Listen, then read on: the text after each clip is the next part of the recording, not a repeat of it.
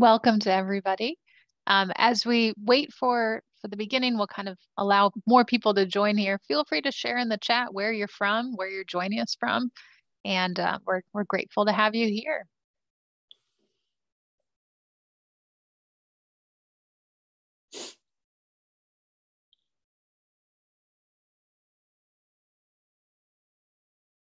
I love that it seems that there's a class that's joining us. Welcome to our first International Education Week program.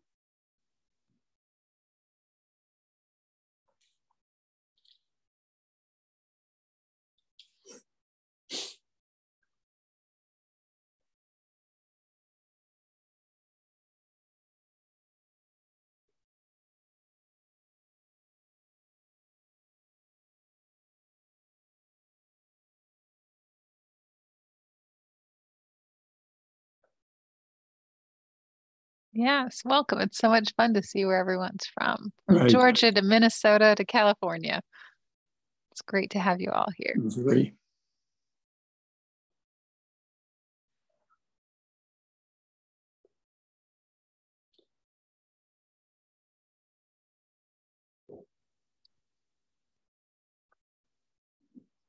All right, and it looks like it's slowing down. So Don, if you want to go ahead, feel free. well, well, th uh, thank you, Kathy. And uh, for those of you that are just joining us, I see another name just popped up from Atlanta.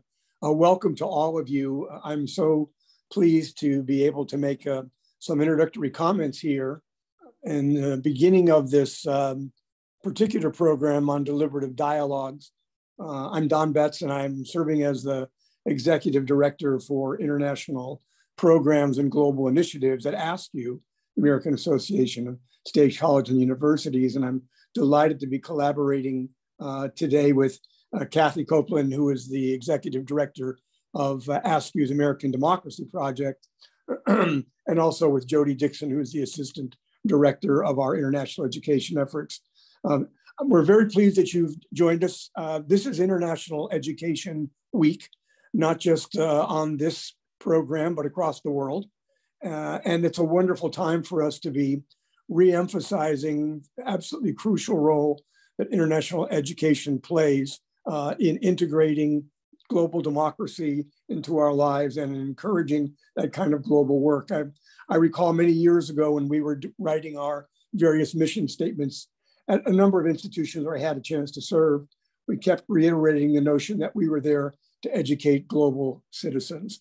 And I believe that International Education Week has that mandate to remind us that, yes, in educating students uh, and all of us to be more globally aware, we realize that we share a variety of opportunities and a variety of challenges.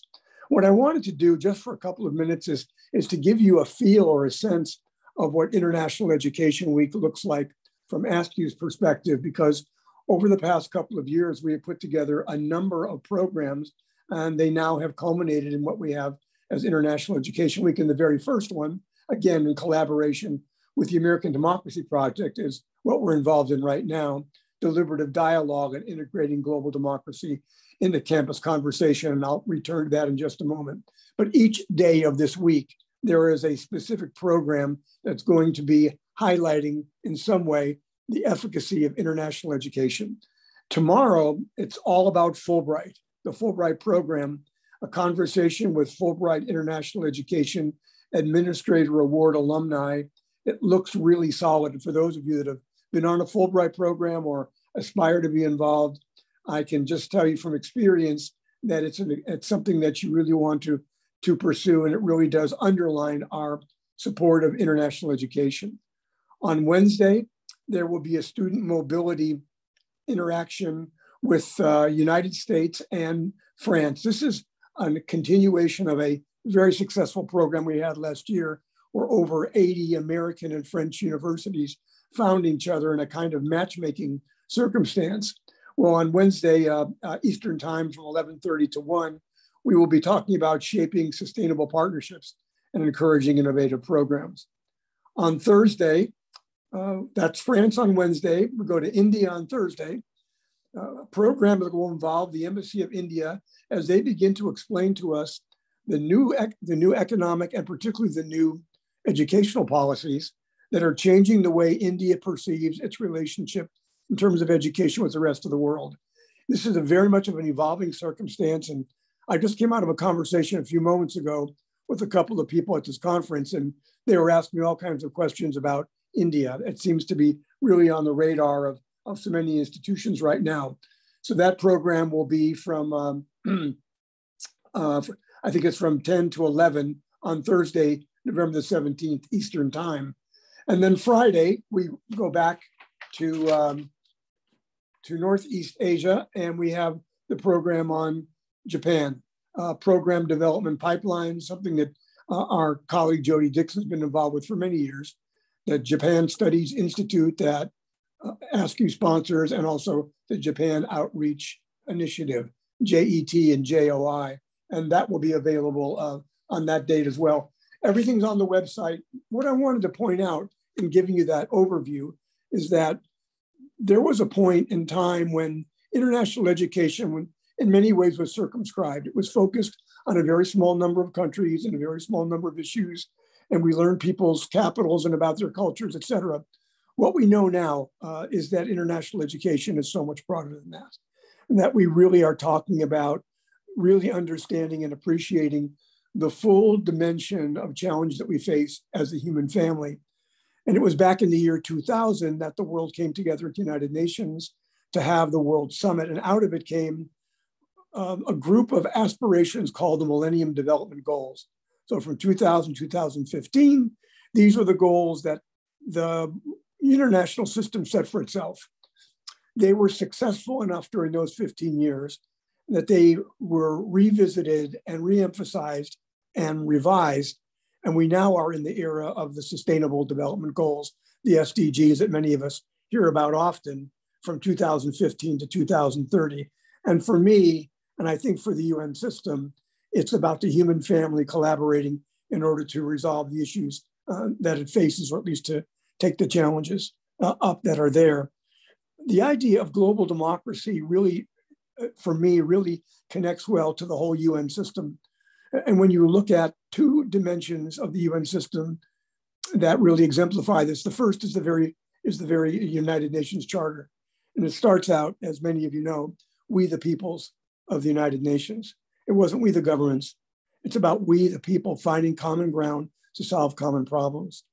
And then a second um, reference I'll make to the UN as I close has to do with the unique organization that the UN has created. It's 12 years old on Friday.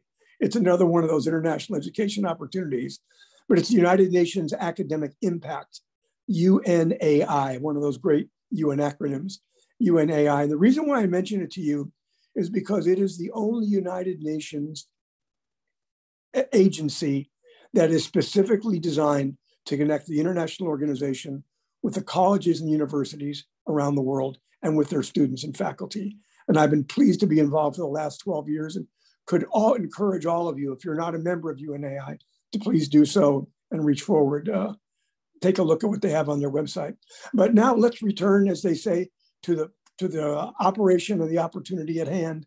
This is a deliberative dialogue, and we have a chance now uh, for us to look at integrating global democracy into our campus conversations. And I'm going to turn the program back over with thanks to Kathy Copeland. Thanks so much, Don. Uh, it was a pleasure to, to hear from you and especially to understand the deeper context of International Education Week. Um, we're so glad here at AASCU that we can present a whole a whole week where we get to travel the whole globe to figure out more more distinctly what we're doing. Um, what I wanted to share about today, and I'll kind of um, go through our kind of basic slides there is we're going to be diving into deliberative dialogues and speaking about the global democracy. So um, our International Education Division of AASCU um, is partnering with the American Democracy Project, and that's uh, where I'm the director of.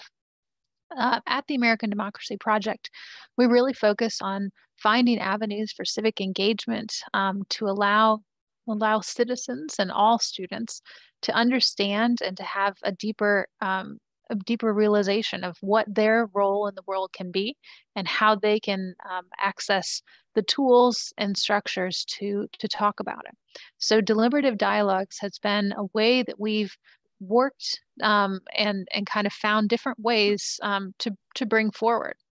What I'll say is that deliberative dialogues can sometimes be difficult to understand because in our in our current world we are we see a lot of um, talk and not necessarily a lot of working together. And deliberative dialogues is all about using talk to work together. Um, what deliberative dialogue especially is, is it's a method of thinking and talking together.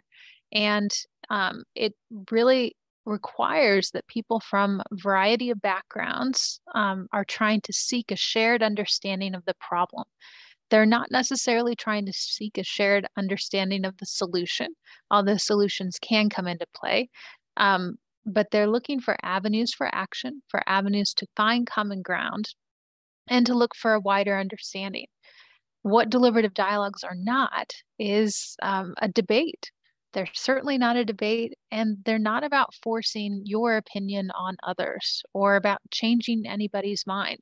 It's about developing the skills within yourself um, to understand others' perspectives and to find a way forward with differing ideas and differing belief systems um, and really have a, a way to challenge yourself to um, to understand the world and the, and the wider world. Um, so that's a bit of background about what deliberative dialogues are. At the American Democracy Project, um, we've been happy to use the Deliberative Dialogue Institute to uh, bring a more foundational understanding to different groups, um, faculty and staff, but also students, um, to help explain what deliberative dialogues are, to give them tools to do deliberative dialogues on their campuses, and to hopefully find ways to expand it on their campus and into their communities. Um, and the three wonderful uh, ladies that we have speaking to you today are going to give you an example of how to, of multiple examples of how deliberative dialogues have worked on their campuses or how they hope that they work on their campuses. But I'm really excited that this group um, and I will be able to talk through what we think of um, within global democracy and how that um, and how that can really be hopefully more envisioned by having deliberative dialogues instituted on our campuses. Um, with that in mind, I'll go ahead and introduce our panel because they are three people that you want to hear from, believe me. Um, we first have Maria Luisa Gutierrez Ferret, and she's the head of internationalization and international cooperation department at the Universidad Católica de Santa Fe. Um, that's in Argentina. Um, also joining us internationally from the Bahamas is Walteria Tucker Rolle. Uh, she's the chair of the Academic Senate and director of the American Corner um, of Nassau at the University of the Bahamas. And then we also have a member from the states as well, um, from the great state of Georgia. Uh, Jessica Traylor is assistant professor of psychology at Gordon State College. And I'm excited to have all three of them in the room. Um, we have a couple of different things to share um, about how they look and how they view deliberative dialogues, but also how we're really working together to think through how, deli- how deliberative dialogues can be deployed on campuses. And to that, I'm going to put um, all of us on pins so that you can see us more broadly. What we hope, though, is that um, is that in the chat you can start to add in questions um, as they come. We don't have any um, particular time that you that you need to do that, and we're always happy to open it up and to add more people into the conversation. Um, but we'll also have time at the end where you can share your ideas, um, share your concerns, but also ask questions of us. Um, we're we're more than happy to um, to have a deliberative dialogue with you and um, and to talk through how we can hopefully make this a broader um, understanding of our campus.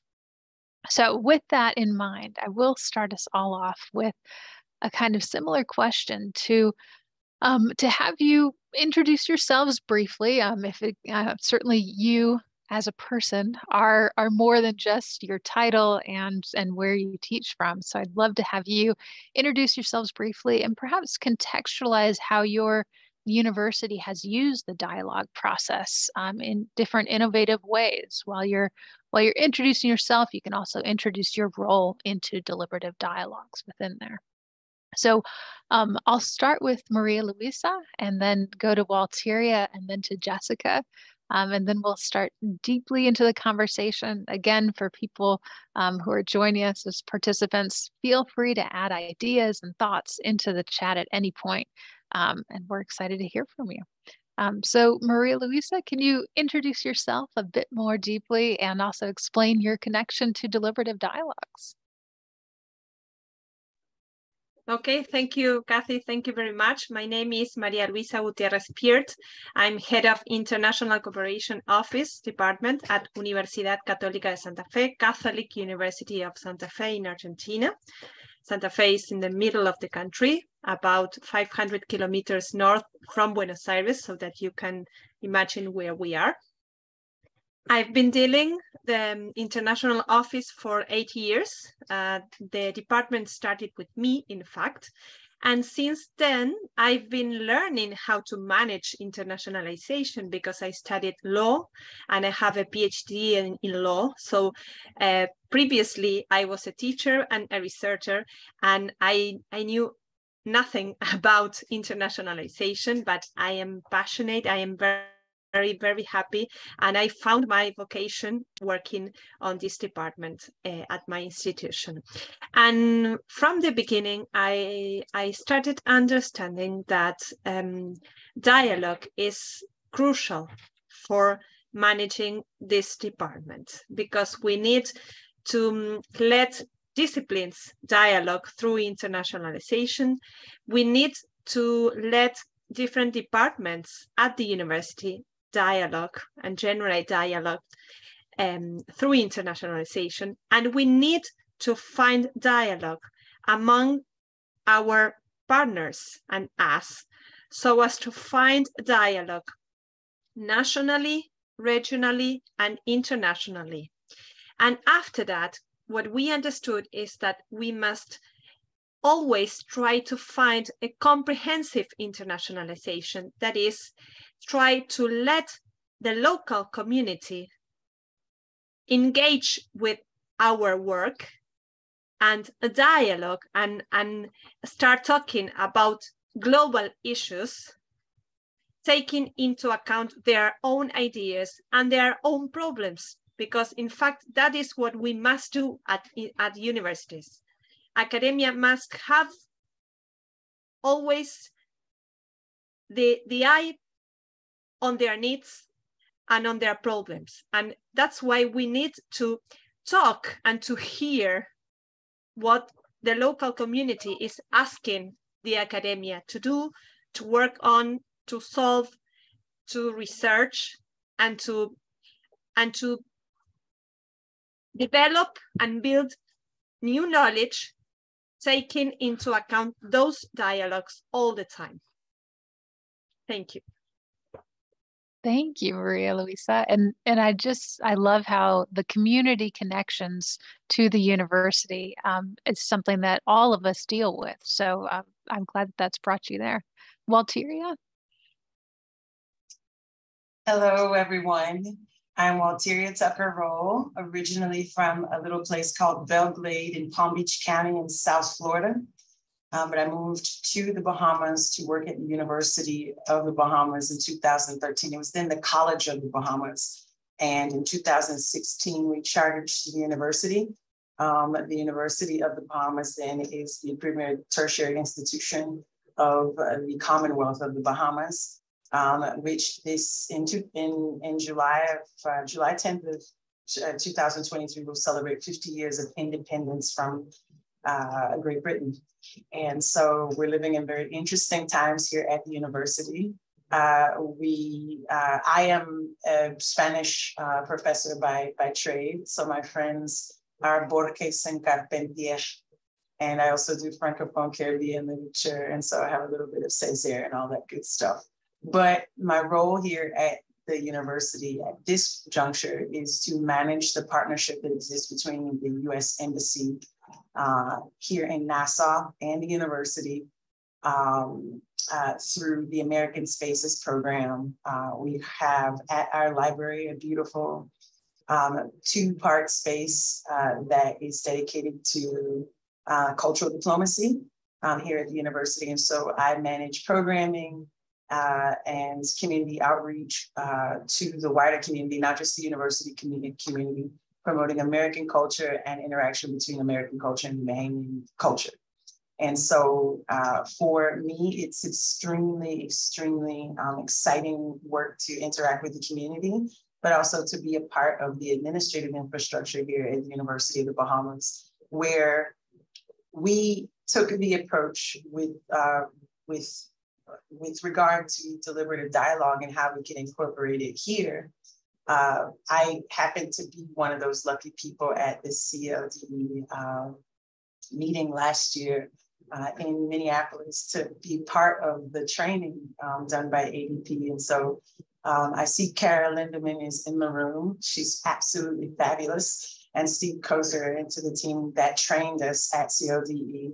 And I walked away so intrigued and so empowered from that session um, that not only did I talk about the possibilities for incorporating deliberative dialogue into what I did in my individual classroom or what we could do academically speaking, but I had a serious conversation with my vice president of academic affairs, to whom I'm answerable.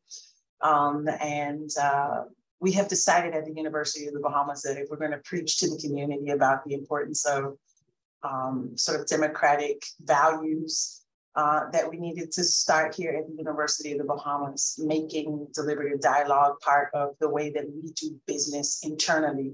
And so uh, we are going to host by the grace of God, as the Bahamians say, um, we're going to host actually a, del- uh, deliberative dialogue institute here at the University of the Bahamas for our senior um, and mid-level academic administrators. Uh, the Bahamas, uh, the University of the Bahamas has three trade unions operating on campus, uh, Public Managers Union, Public Service Union for our staff workers, and a faculty union. And so uh, before we get started with the outreach, we thought that deliberative dialogue was the way for us to go in our in-reach. So I'll just leave it right there for now.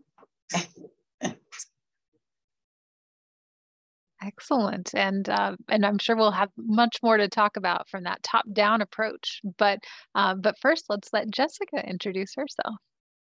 Hi everyone, I'm Jessica Traylor. I teach courses in psychology and human services at Gordon State College. That's in Georgia. It's in rural Georgia. So uh, we're about an hour from most decent sized cities. Um, the county that it's situated in has about 18,000 residents, and our college has um, like 3,500 students at this point. So it's, it's small and rural. Um, I am a big fan of Kara Lindaman also. So I found deliberative dialogue through ADP um, in the spring of 2021 they put on a deliberative dialogue institute and and like walteria it it changed my world um, i knew i had found something and it's one of those things that once you learn it and you start to practice it you see opportunities to use it all around you um, and it just so happened that we were planning a, a summer vacation right after i learned this tool and we we my family used deliberative dialogue to decide where we were going to go um, and it, it's fantastic right like what are the benefits and the trade-offs of all these different options that that we have. Um, so I I use deliberative dialogue mostly in the classroom. So I, I jumped right in. Like I said, it, it really did change the way I saw the world.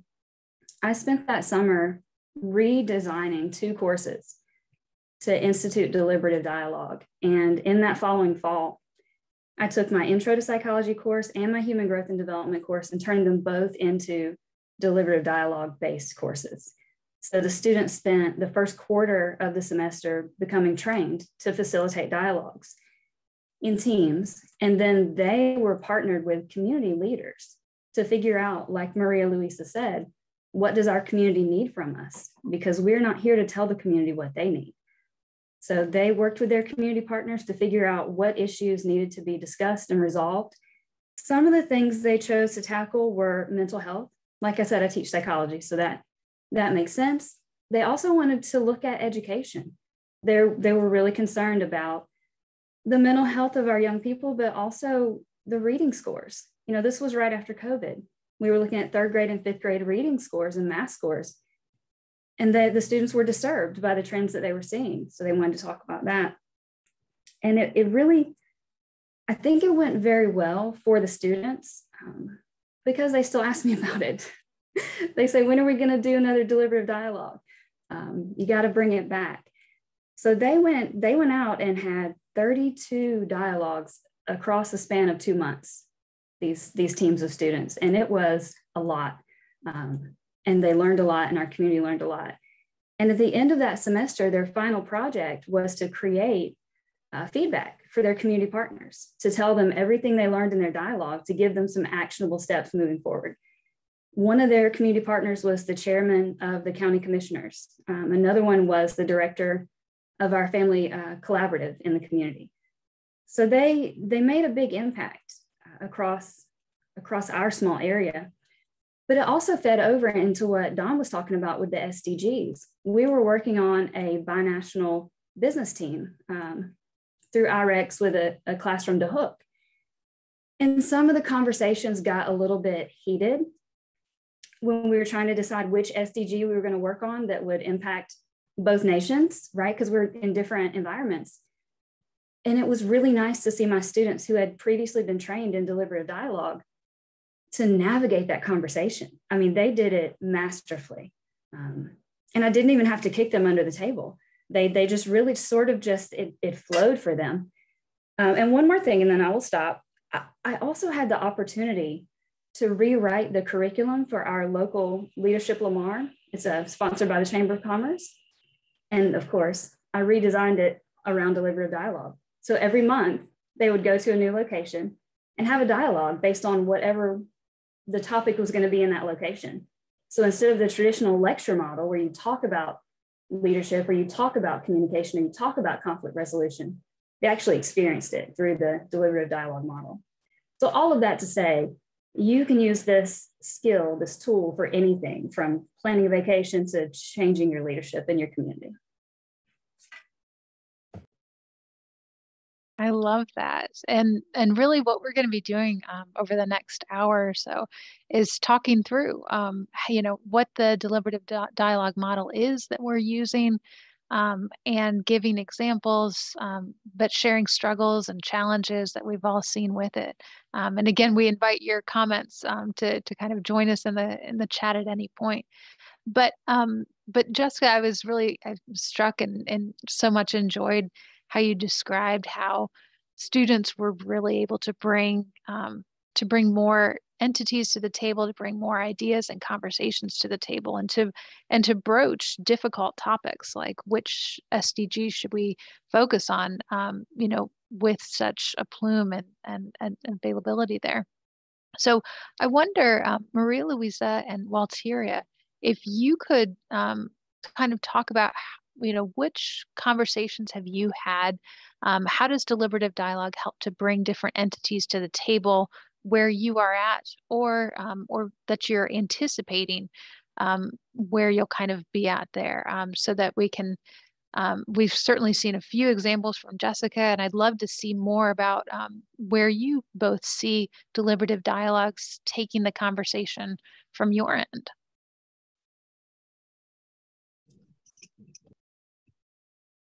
Well, um, I would say that through many different programs that we've been developing at our university, um, mainly trying to find um, interdisciplinary areas, um, um, we, we could find different ways to involve um, the local community and teachers, students, and researchers from our university and from different uh, departments and careers to be involved in uh, global issues. For instance, uh, some years ago, we had a, a, program that was sponsored by the US Embassy in Argentina called uh, Public Policies for Local Development. And through this program, we chose five different topics, federalism, mass media, health, entrepreneurship, and education. And through these five different topics, we could involve the local community and also the students to start learning to um, to talk from different points of view on how to solve issues related to these five topics so as to try to uh, work towards uh, local development. So the good point is that we could have in different tables people from the local community, that is from the public sector, from the private sector, and from the civic society as well, working together with students and professors from our institution and with international academics, in this case, they were all from the United States, working together to talk and to discuss about these five different topics that were crucial for us. And that was why we selected these five um, uh, topics. So, for instance, when we were talking about education, we had the opportunity to have students from education, teachers from education, but also teachers and um, deans from different schools from our local community and people from the governments, for instance, from the Ministry of Education. So this, through this deliberative dialogue, we could help our students to start thinking about how to solve these local community problems regarding education. For instance, childhood education or high school education and having people from the private sector and from the public sector as well could help us to start thinking about possible solutions and linking them together through these dialogues.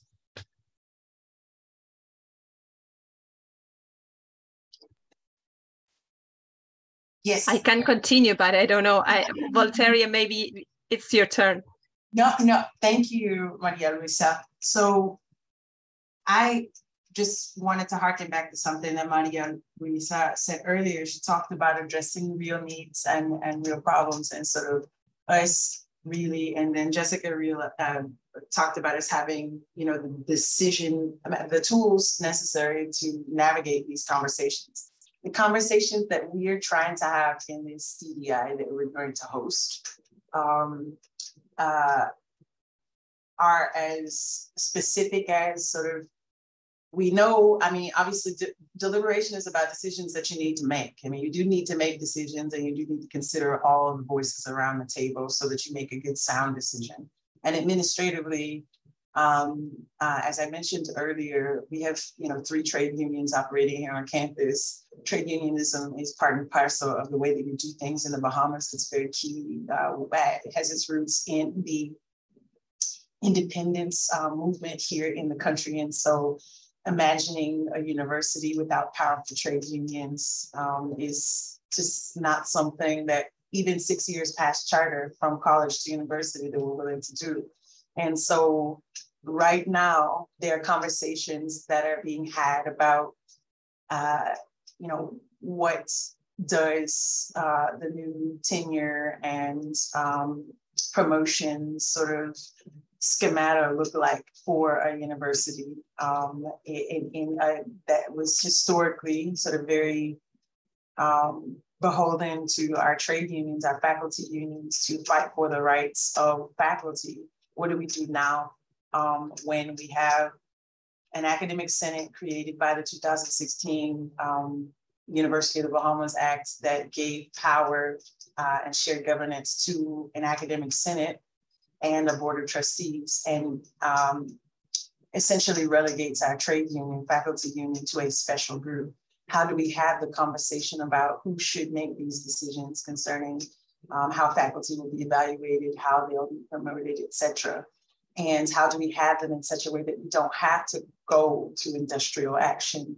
And so at the DDI, uh, the players around the table are executives from the union, um, we have executives from the union, executives from the academic senate, um, and as, as well as even as high up as the vice president for HR and her team in the room together, um, learning how uh, to talk about these things without having to regress to the adversarial debates of the past, right? Um, we know, I believe that, you know, deliberative dialogue, as, as we're interpreting it, is really about, we know that there are decisions that have to be made, right? And so this is not about whether or not we make the decision. We made the decision, but we do want everyone to feel part and parcel of the next phase of who we are as an institution. And um, our desire to have all of these people around the table and to be empowered with the same tools that I got as an individual faculty at CLDE, you know, is to make sure that we can uh, implement uh, the resources that we that we learn at every phase because there is the writing of an industrial agreement that will have to coexist with the faculty handbook that's written by two different people, right? Two different groups, right? There, there is um, still a hierarchy in academic affairs and a hierarchy in, in, in human resources that have to coexist and have to work on the same faculty problems. And so uh, we need to hear each other and we need to to really see sort of where we are from our different perspectives. I think a lot of the times, um, going back to this idea of a top-down sort of approach to governance, is that you have a very few people at the top um, that make decisions for these people, large group of people at the bottom. And then the conflict really arises. The, the ability or the, the inability to work together really arises from people not feeling like they're heard and when people don't feel like they're heard, then they are less engaged or they feel that they have to constantly uh, be in a fight. And it's true, you know, we have a very small country, and a very small institution. We have to take care of we things, as we say in the Bahamas together. We have to do this thing together. And so, um, you know, everybody from the union execs to the vice presidents of both academic affairs and HR, as well as our academic deans. Um, they're going to be in the rooms because they are the ones who are going to have to get a, a, a have their finger. That's right, Ashley. All a week is the one. so, um, but the academic deans don't need to make in this new stage of the university. We don't want academic deans who have no idea what's really going on at the level of the individual faculty and are sort of just using um, their power without actually taking the time to have these conversations. Of course, any administrator will tell you, we don't have time for all this talking, right? We have to do work.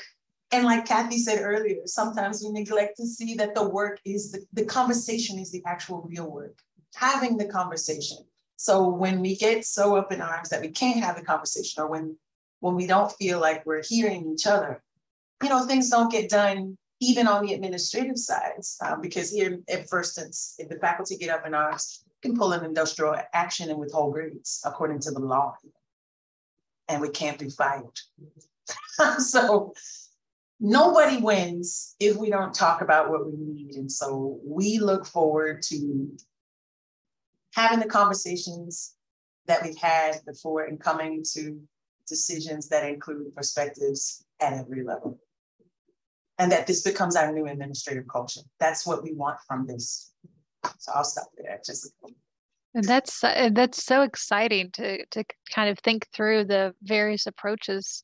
Um, I mean, from all three of you, I really kind of thank you for sharing what kind of conversations you're hoping to to generate and that you have already generated. What I'm really seeing uh, from our conversation is one that we might want to dive into what the experience is actually like or what it's been like as you've started to to use this more um, as eh, kind of you know in light of all of the problems that we've been facing um, but also i think where we're hoping to go is you know how how do we think it'll help us when we're thinking about internationalization and globalization and empowering students to really um, to understand where they fit in the whole piece of of the world um and then that and and also um, and I think this is perhaps where a lot of our participants will will gain some knowledge of how do you dialogue? Um, what resources do you use? Um, you know, certainly uh, Walteria and Jessica both mentioned the Deliberative Dialogue Institute, um, but how how do you kind of start to gain that, um, and and you know where can we kind of um, help each other figure that that piece out there? So, um, so I'll kind of start though just um, with that experience question because, I mean we've had we've had the pandemic, we still have the pandemic, still still very ongoing process. Um, but also, you know, these last years, it just seems like we're navigating difficult subjects one after another. Um, we had um, an election uh, this this past week in the United States, um, which had a very uh, divisive quality to it. And Jessica uh, is, is, certainly from Georgia, which will be continuing the election um, into the next month um, because uh, no candidate reached the 50% threshold there. So, um, you know, we certainly have the political ideas. Um, and thinking in South America, we've certainly seen how Brazil um, has moved um, on, on different elections there too um, beyond elections and kind of beyond the pandemic, there's wars around. There's the conflict um, that that the Ukraine has had to deal with uh, from Russia, and and it's um, it seems that sometimes that the world is is ripping its part kind of part itself there. So how do you kind of look towards dialoguing as a way to navigate these difficult subjects? Um, is there a way when you're bringing up dialoguing that you find that it has the ability to um, to kind of help people look past who to blame and instead find ways to heal or um, or do you just find that it's cathartic for people to have a chance to share their their feelings um, even if there's no clear and ready solution that they can can actually um, do themselves. So maybe we can kind of just spend a couple minutes um, talking through what we think of um, as your experience with dialoguing during these difficult years. So the first dialogue I hosted with my students was in the fall of 2021 on the first day of class. Instead of doing the welcome back, this is your syllabus speech, we deliberated what we should do about masks. You, you, you all remember, right? This was a time where people were doing away with the mask mandates, but folks were still wearing masks. And if you didn't wear a mask, then people assumed that you were insensitive to the needs of others. And if you did wear a mask, then people assumed you were some sort of conspiracy. Theory. Like there were assumptions on all sides of this issue. And the university system of Georgia did away with the mask mandate. Masks were still encouraged, but optional first day of class, I knew it was going to happen. Half the students were wearing masks and half of them were not. So that's what we deliberated for an hour. What should we do about masks? As a community, our class is a community. How are we going to come down on this?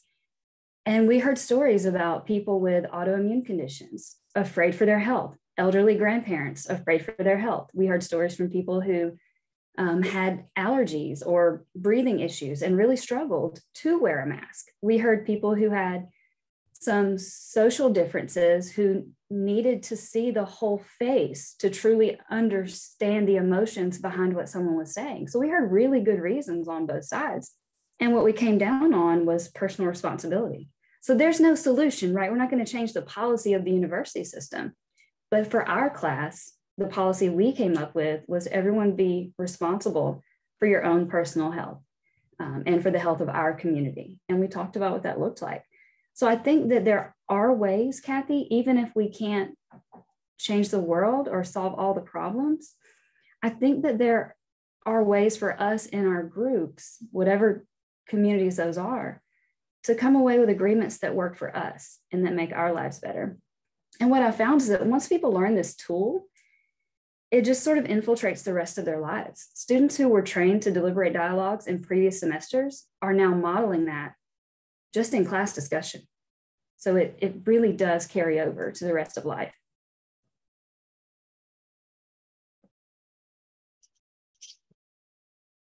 For me, one of the things that, I mean, you bring up something very interesting, Jessica. One of the, we have a number of national issues that are going to be on the ballots very soon. Um, here, obviously, the election cycle in the Bahamas is on a five-year cycle rather than uh, the model that we have in the United States. And so when we have, there's a conversation, for instance, one of the hot topics now is any, uh, well, hot topics related to all things dealing with gender inequality or equality, um, whichever way you want to look at it, right here in the Bahamas. Um, some of the things perhaps that some of you take it grant uh, take for granted, um, like the ability uh, to pass your citizenship on to your child, whether or not you're married. Um, uh, for a Bahamian woman, she cannot pass a citizenship on to her child if the father is not a Bahamian.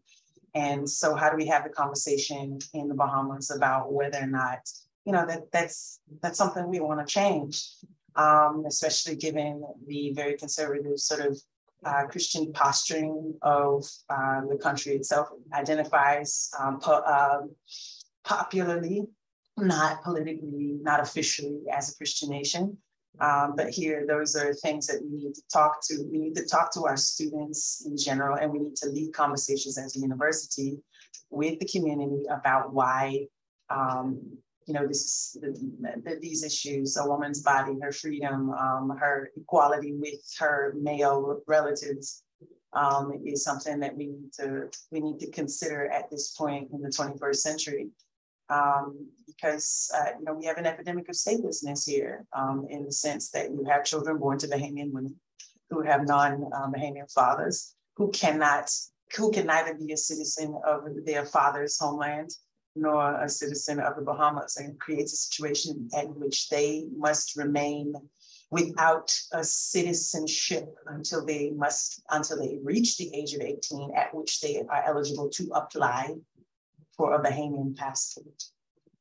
And so um, the working conditions for these people, the working conditions for all of these hinge on whether or not that woman has the right, like the, her male counterparts, to pass um, her citizenship on. So these are these are key issues. Also, um, a hot topic right now is the issue of marital rape. We don't have any protections for a woman who is raped in marriage here in the Bahamas, none. Um, all of the rape is a crime in the Bahamas, just not if you are married. Um, and so there is a conversation being, or there have been debates, um, but perhaps using these techniques allow us to talk about, um, you know, what what what marital rape is, or something even more fundamental than that.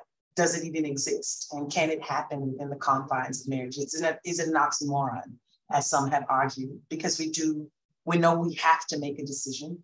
Um, we know that there are things that there are women being brutalized. We have statistics that show that women um, are self-identifying as being brutalized, increasingly so since the pandemic um, that gender-based violence has has gone to an all-time historical high here in the Bahamas, and there are no protections for the people who are letting us know. We finally have a voice in the statistics. We don't have laws to protect, but before we get there, we must have conversations publicly about why these things are important. Have them here at the university um, uh, to talk about why they're important because as, as Maria Luisa pointed out, these are real problems in a real society and if we don't talk about them, then we can never even hope to get to a solution. Um, I, I think, I think, uh, you know, we have enough examples. I will use an opposite. We have a history of examples at which there have been public debates on these issues, and they have not ended um, well, and they have not ended um, in humanizing the people in the conversation. They often descend into these things uh, where these nasty sort of clashes where people are denigrated for their views. And this is the moment where we have to say, no, you know, there is another way, there's a better way. So we look forward to being able to change that to implementing these practices.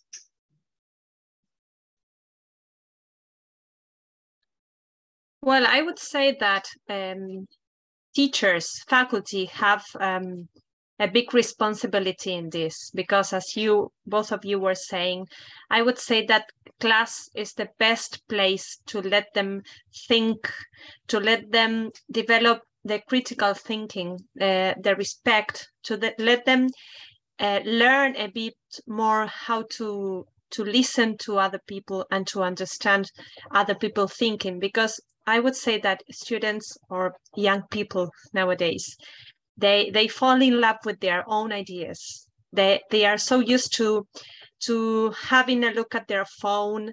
And and I, I would say that they are getting more um they they are having this narcissism you know? And i think that it's very important for faculty and i include myself because i'm a teacher at the university. We we must take into account what we can do during our classes. To let them talk to let them debate to let them go out from the book you know from the library. Because and i think that that's a question of changing of culture as well.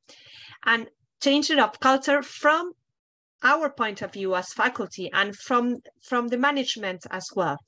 Because i think that what the pandemic uh, taught us is that we we need to understand a bit more how to look at what is going on outside apart from studying from the book. So the syllabus is really important, but as Jessica was saying, it is more important to understand what the society, what the community is asking.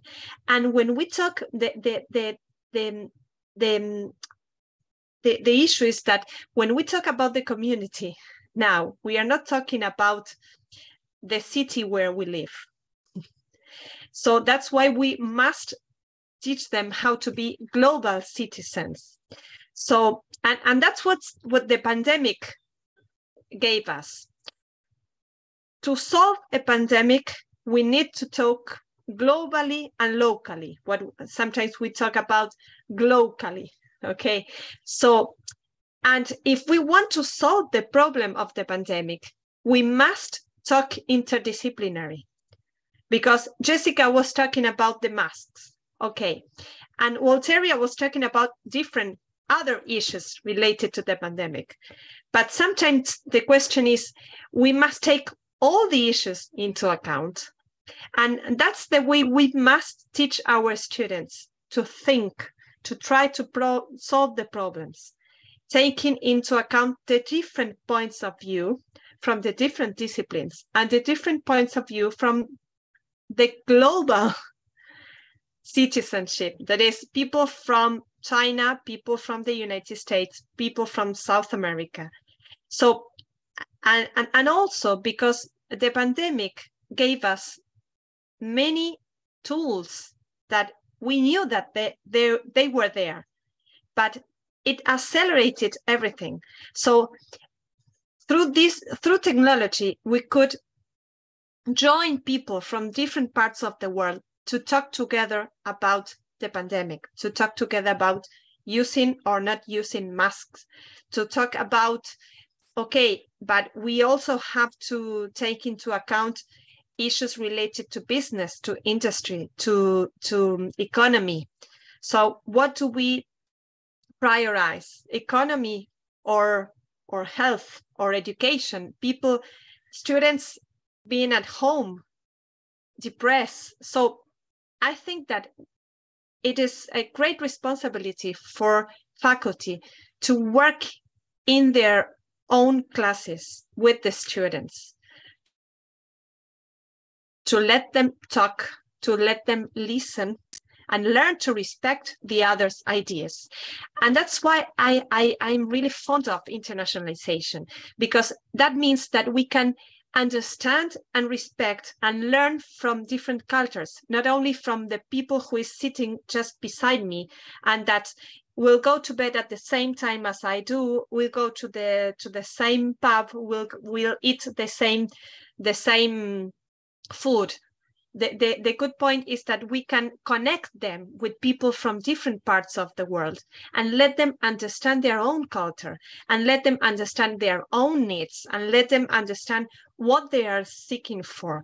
And the good point is that we are we are building and we are raising critical thinking taking into account this global thinking not only the local thinking both of them. So I, I think that it is more than ever a big responsibility for for faculty to to to to think about deliberative dialogues in class, involving the local community and involving the international partners. In fact, when we talk about the the, the United Nations um, um, goals, uh, I, am thinking in Spanish. Sorry.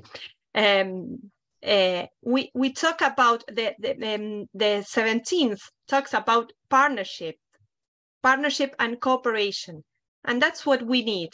We need to cooperate with the one who is just beside us, with the one who is outside the university, and with the people who are maybe in a different country. And that I, I, I think that that is the, the, the most wonderful thing we, we, we've learned or we should have learned from the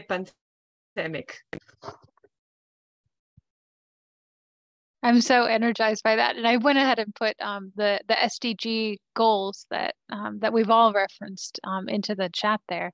Um, yeah, no, I'm what I'm excited about is is that you brought up, you know, how do we teach to be global citizens and thinking that through, and even um, I mean to Walteria's point that, you know, it that deliberative dialogue helps force us past the status quo of well let's just let's just keep the bahamian uh, citizen law as as we know it on the book. Let's just keep this um, you know let's just continue to be in that tension that that jessica described of mask or no mask.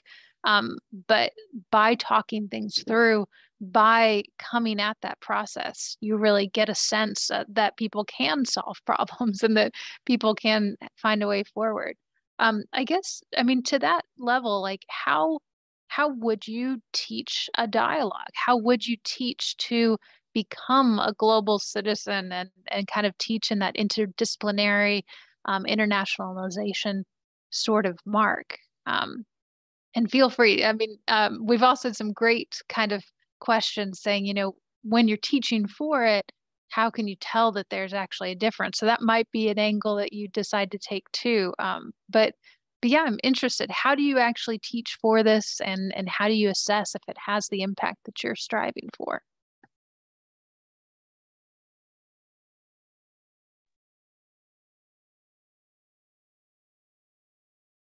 I think just on a basic level, people start to speak about the issues differently afterwards. If you're having an impact, people are going to the way that they talk about the situation will change. For instance, one of the other really, uh, uh, issues here that's hot is the question of abortion and uh, one's right to an abortion.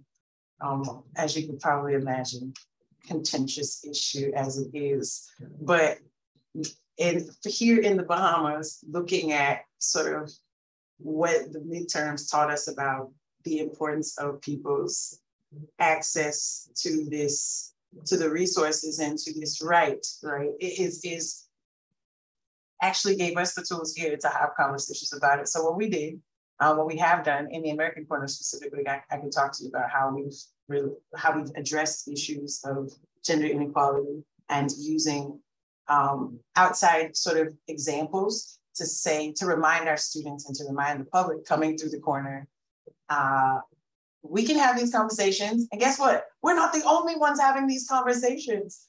So we could show a film that's contextualized in the United States. Um, one of the ones that we did during Hispanic Heritage Month celebrations here.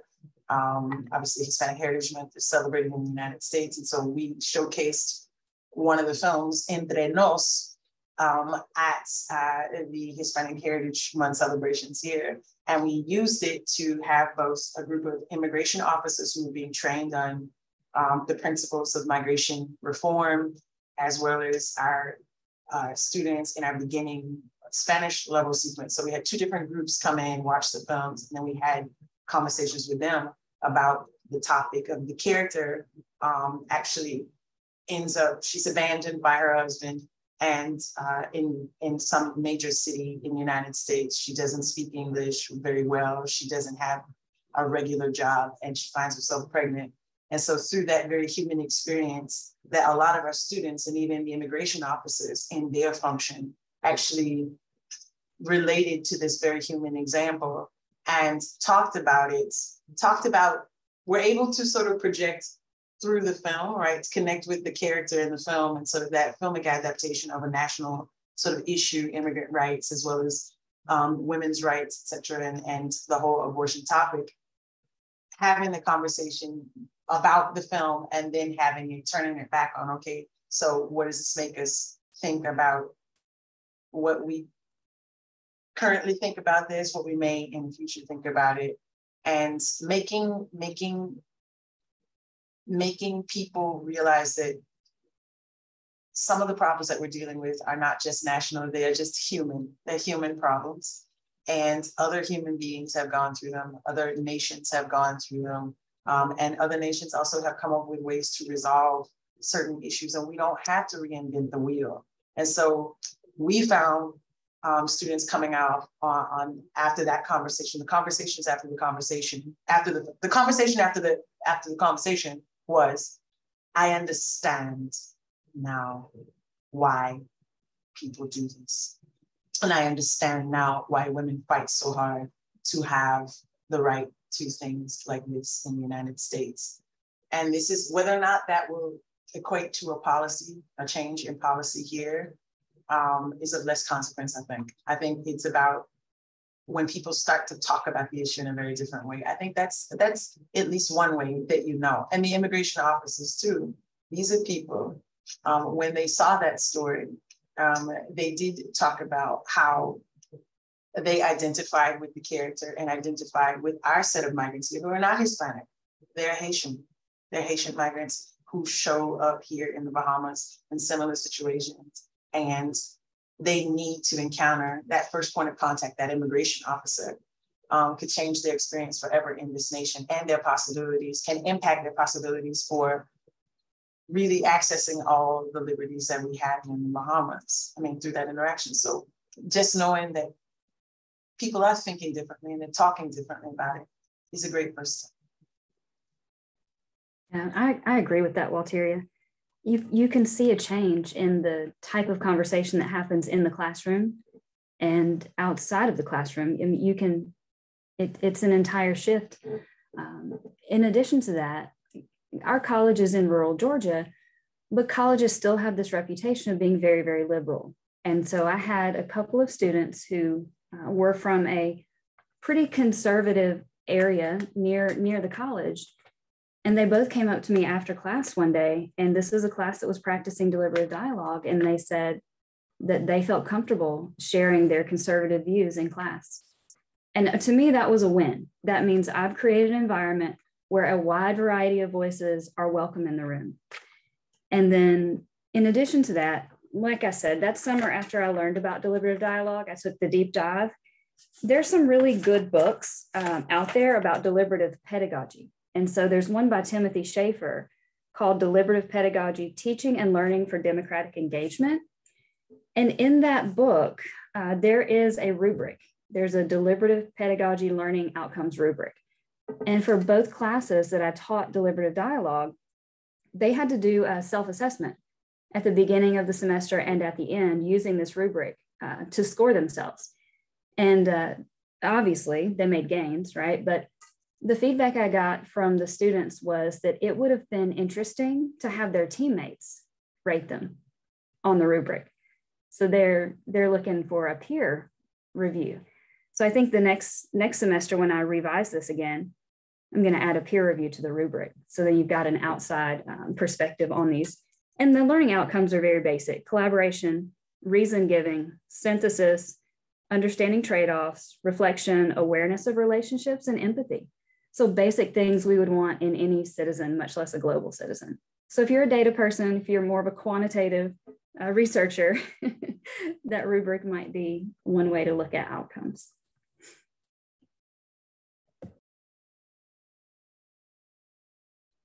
Yes, I would say that, that those are the soft skills that we need to develop on our students.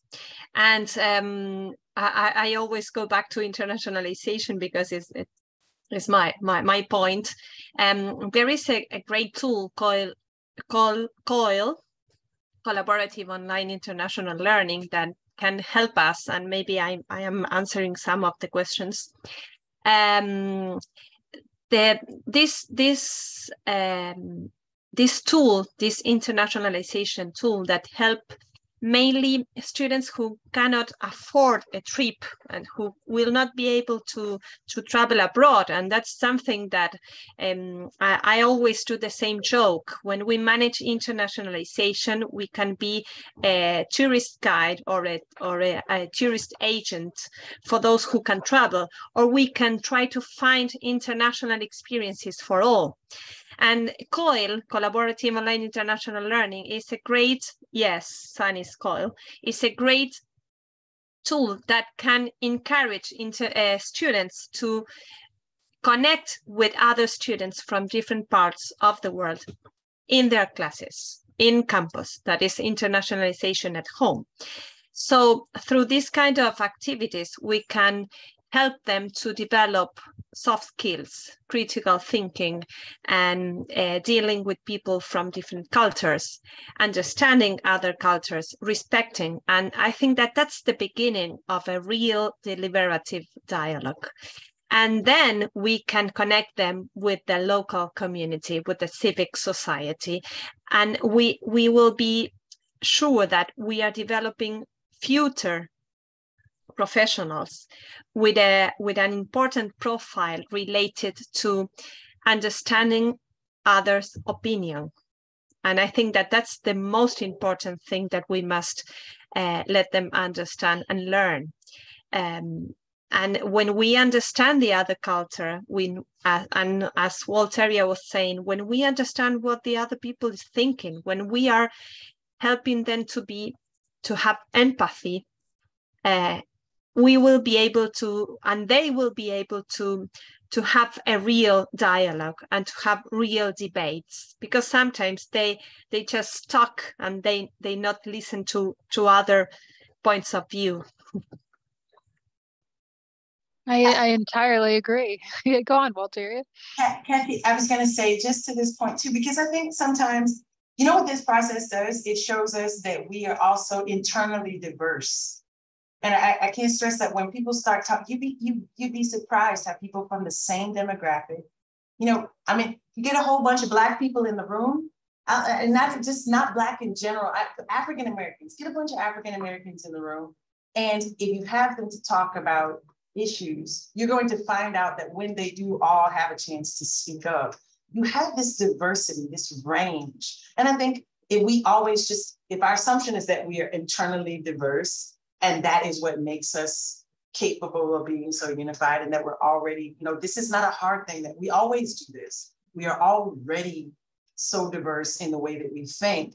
And again, to the point, I guess I'm preaching a little bit here. I think that's what America needs to remember about itself, that the definition, right, is of, of who we are, is that we've had, we're people from many different places coming together to make this amazing thing that never was.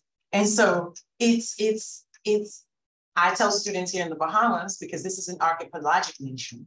So there are 700 islands and keys, right? So when you say, what does it mean to be a Bahamian? When you ask that, it depends uh, perhaps on which one of the about 30 some odd habitable islands that you come from.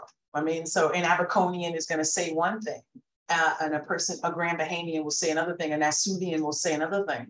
And so, but at the end of the day, when you put them all together, uh, there's an express, expression here the Bahamians used to talk about just being kind of a pot cake or mutt, as it were, but in a loving sort of, of caring man, manner. Um, we mix up like conch salad. And if anybody has ever tasted conch salad, it is amazing right? If you have, please do let me know if you've ever eaten Bahamian conch salad. But it's it's it, the taste, the flavor of that sort of national identity when all of these diverse, internally diverse elements come together. Um, it is the essence of what it means to be Bahamian. And I would say too, we need to tell the people in all of the United States, this is who we are is many becoming one, not one sort of being homogenized, right? And so even those kids in rural Georgia, Jessica, I'm sure, I'm sure that you are amazed at the things that they come up with even in that rural place, it seems so cut off. But it, here in the Bahamas, I tell the students that also the world has been coming to the Bahamas since 1492. So this idea that we're some purebred Bahamian, uh, cut off from everybody else, never touched or infiltrated by any other culture, whatever. No, it's better. That's a that's a figment of our imagination. And considering that 80%, um, we have 8 million tourists coming here from North America every year, I think it's safe to say that we have, we're, uh, we have always already been globalized. And so thinking of ourselves in any other way, it's just, um, it's denying reality. And so talking about these things, recognizing the diversity gives us an opportunity to recognize our internal diversity and to reaffirm our, our need to be connected with people who are different. All right. It's just, that's, that's a beautiful, we need to get back to our roots. Well, Terry, since you called out rural Georgia, I'll have to tell you, I'm in Orlando, which is six hours from rural Georgia, and I'm down here with three students who are going to present with me later on this week. On the way down here, it gave us plenty of time to talk. Two of the students are second generation immigrants from Mexico. And so we had this long conversation about what it is like for them to be immigrants. They still consider themselves immigrants in, in rural Georgia at this time in history. And one of the young men said, that when he went to college and started gaining a more diverse friend group, it it allowed him to see aspects of himself that he'd never seen before because he had always been trying to fit in with with his white middle class friends who had very different home lives than he had and so to your point diversity is is beautiful not only because we need all of our ideas to come up with a better solution, but because it does, it gives us the freedom to be who we are. And it's, it's really interesting that he explained that today. Um, and then you said it again. It's so important. It is.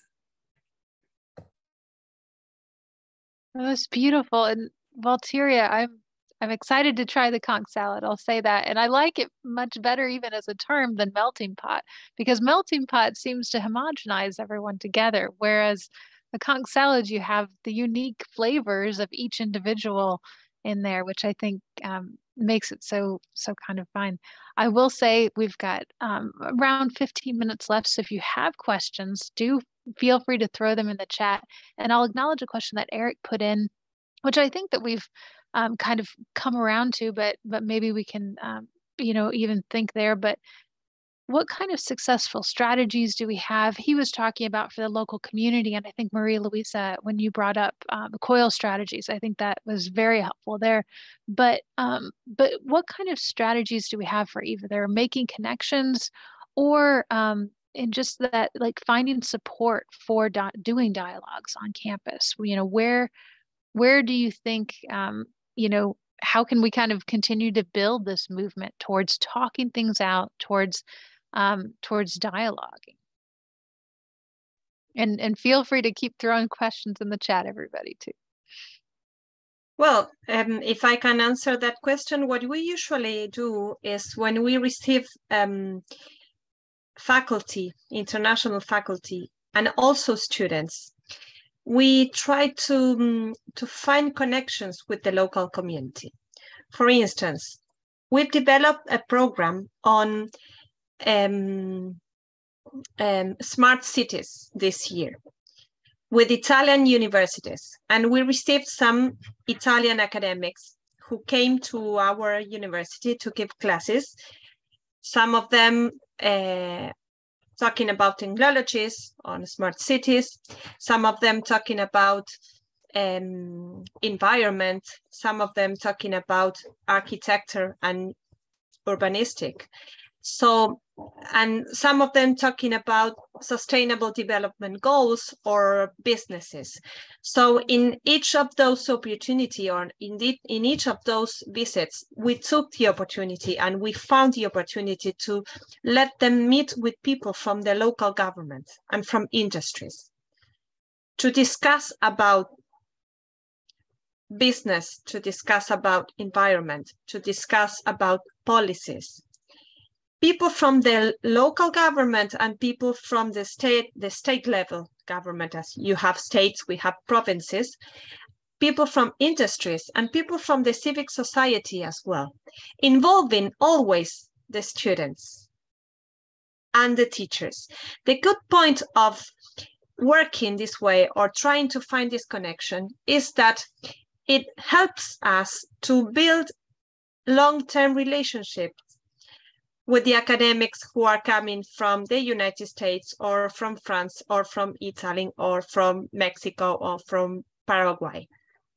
Because we give them the opportunity to understand our own issues, our own problems, and to meet people from the local community, from the government, from industry, from the civic society, so that we can promote future joint activities, joint projects related to their own issues and to our own issues, involving the local community. So we give the students the opportunity to, to link or to strengthen more links with the local community. We give the international academics the opportunity to link with our local community through internationalization. And we try to start building long-term relationships with joint projects involving our international partners, our students, our teachers, and our local community as well.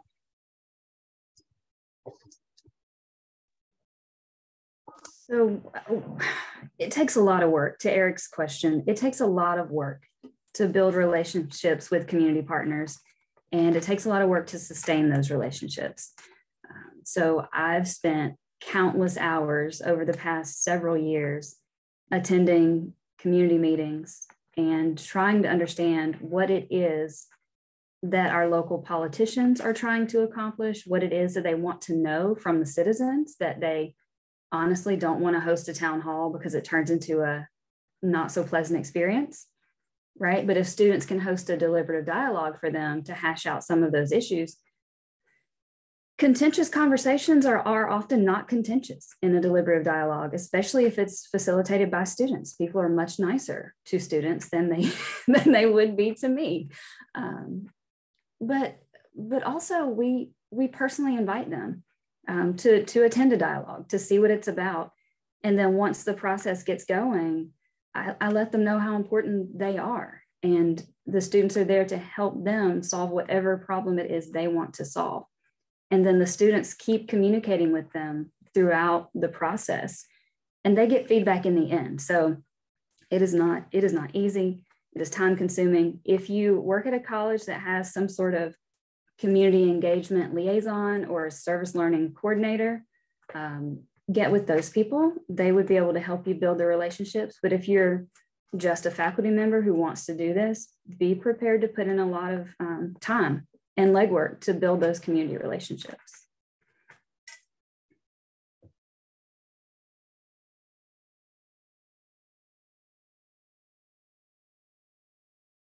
I think this is uh, it's exciting to hear about the different strategies that are out there and and and I think acknowledging the fact that this is difficult work that individual faculty members are putting in a substantial amount of time um, in order to to kind of find the path forward like you did jessica. Um, but also the you know whole communities have to invest in enough time and enough resources to bring this to fruition and to find ways for people to have the conversations. Um, encouraging global citizenship is not an easy task. Um, but I think that universities are designed just for this, and that universities can really bring that power. Um, so, I mean, is there, you know, a kind of final thing in the last few minutes that that you kind of just want to um, to share about how you think deliberative dialogues can really be a be a foundation to build global citizenship onto, um, or that this really is a way that global citizenship or internationalization can be something that that we that we strive for um, rather than just knowing that we should be um, engaging in these kinds of of uh, reflective behaviors. so I, I, would just suggest if anyone is interested in getting started with deliberative dialogue, um, it's definitely worth it. I know I make it sound like it's a lot of work, but it is worth it. Um, and if you don't want to go big and you're not ready to have global conversations, um, start with something small. Walteria mentioned the term earlier of an oxymoron, marital rape.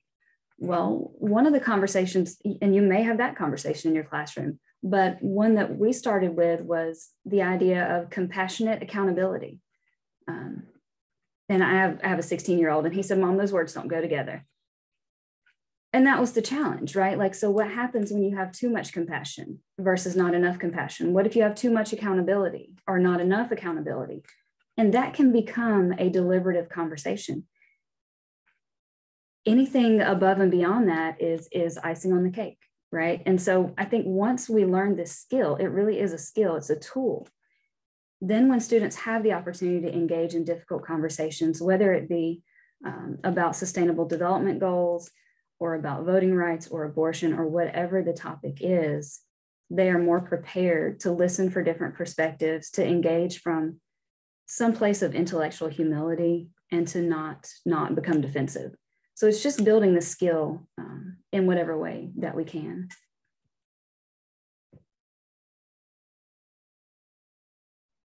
I I will keep you all posted on our sort of new venture here um, with working with our administrators um, because we do want to start, uh, like I said at the beginning, we're starting internally. Um, and the challenge after our leaders are changed, after our administrators are trained, um, will be for them, I mean, to be accountable by hosting a plethora of dialogues on a number of different topics relevant to their direct duties, or they'll be free to schedule even community outreach if they want to. But the important thing is just to have, have those tools to have the conversations and to bring, I would say, the humanity back into the hard conversations. I think people, um, and to bring, for this is the way that I'm going to express it, to bring humanity back into the way that we administer the affairs of the university. And so, you know, if we could change our institutional culture, I think that we have done a great service. We will have done a great service in modeling for our students um, the type of empathy and understanding that it takes to build a better world. And so um, stay tuned. We do expect um, great things for us. Um, and by extension, we expect great things for the Bahamas. Um, and sort of being that light by using these tools.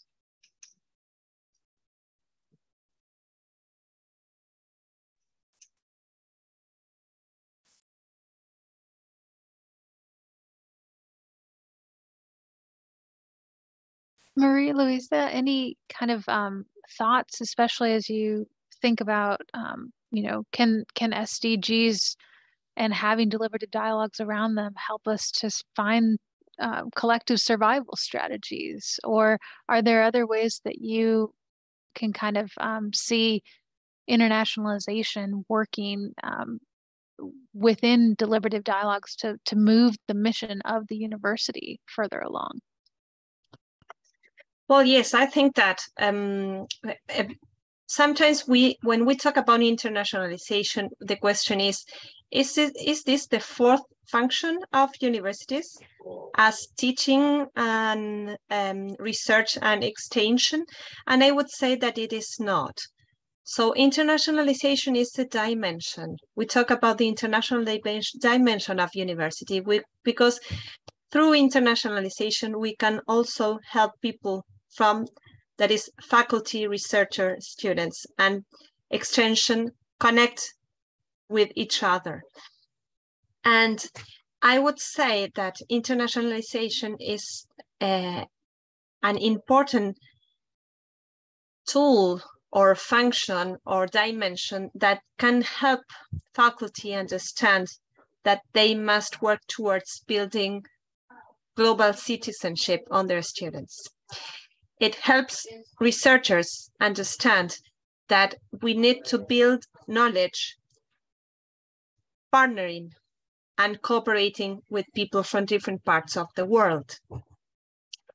and it is important to understand that when we are talking about extension, that is the third function of university, we always must connect with the local community, but with a global point of view. So I would say that building soft skills on students is a strive it's a responsibility and it's something that we can uh, we can deal with and we can achieve through internationalization mainly mainly. And i guess that through technology we can find many many different tools and it can help us to understand that although we are diverse and that's what we we we were talking on Walteria and Jessica were saying. It is funny because usually we we finally understand that we have the same issues. If we talk about the student of 20 years old during the pandemic at home, not being able to, to meet their friends, to go out outside, some of them with connectivity, some of them without connectivity. We will probably find the same problems for students from Bahamas, from Georgia, from China, from France, from Africa, from Argentina. So, and if we study psychology as Jessica, probably psychologists will be studying the consequences of the pandemic on these students. And if we are talking about business, and we had the opportunity to work with two different universities, one from the United States and one from France, trying to deal with issues related to the pandemic, but inside the businesses, we could realize that businesses from different parts of the world were dealing with the same problems. And how these students, being global citizens, will be able to solve these kind of issues, working together in intercultural groups and in interdisciplinary groups, that is taking into account health, uh, um, social issues, economic issues, environmental issues. And that's what we find on the sustainable development goals. We need these partnerships, we need this cooperation, and we need this dialogue between among disciplines, among the different roles of the university and with the community as well to try to, to to have a better world because we don't know if we we are going to have another pandemic or something global again. You know that that's the, the the big issue. And i entirely agree and uh, I, I mean i could talk to all three of you for the rest of the day but recognize um, your time too but uh, like you were saying maria luisa i mean it's really just i'm glad that we have this almost local community of people who love deliberative dialogues and, and bring it forward but recognizing that we have this global capacity to to bring it to a wider world to recognize how that can really add value both to our universities but to our our kind of uh, you know engagement within uh, with how we how we connect to people and how we recognize that we all have the same problems we're all striving for um, for acceptance and um, and and rights in different ways. So thank you all so much. Um, I will kind of wrap it up because I recognize everybody's time there, but uh, I will send out a recording as well as some of the resources that we've mentioned here um, and, and elsewhere too. And I'll say I put into the chat there, um, International Education Week continues tomorrow. Um, they've got a whole um, wonderful thing about the Fulbright and how to apply for it. So please, even if you think, well, I could never be a Fulbright scholar, you can be. So join there. It's um, it's going to be really, um, I think, a fun way to to invigorate some um, some of the the things that we're doing on campuses and to show that. Um, and then on Wednesday they have a, um, an idea with the the Embassy of France, and then on Thursday, as Don said, they go to India. Um, and uh, and Friday is talking about Japan. So feel free to explore more of those and register and, and join us there. Um, and I'll thank thank Jessica again, Maria Luisa, and Walteria for sharing honestly about how you do this. Um, and and I know that um, that all the people who joined us here are very thankful for you um, for sharing your ideas, um, just as I am, but also just for your energy and enthusiasm in finding new and exciting ways to to look at the world. So, thank you from the bottom of my heart. Um, and um, from everybody at AASCU, um, thank you all participants for joining us. Um, but I will go ahead and um, and kind of stop the recording. And I'm really appreciative of all that you have done and all that you will continue to do.